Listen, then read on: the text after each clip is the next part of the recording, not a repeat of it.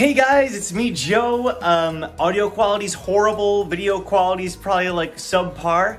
Just updating you that tomorrow I'm leaving on a trip, so there's not gonna be some videos for a while now. Uh, now, sorry if I'm out of breath.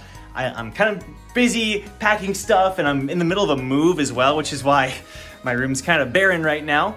So I was planning on having some videos ready to go, didn't exactly work out. I was gonna pre-record my Tower of God reactions, but that didn't exactly work out either uh, because of like the fast pass system was different than I thought.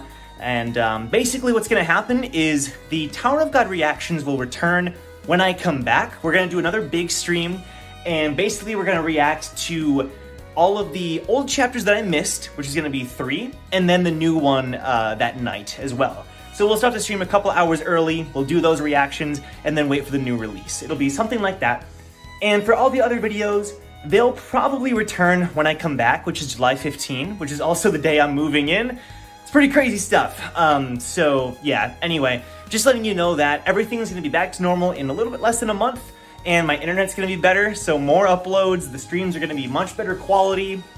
It's gonna be really awesome. So just letting you guys know, hopefully you can be patient with me in, in that regard, but I'll try to update you guys as well on, on the trip and everything. So, all right, thanks guys. Take care.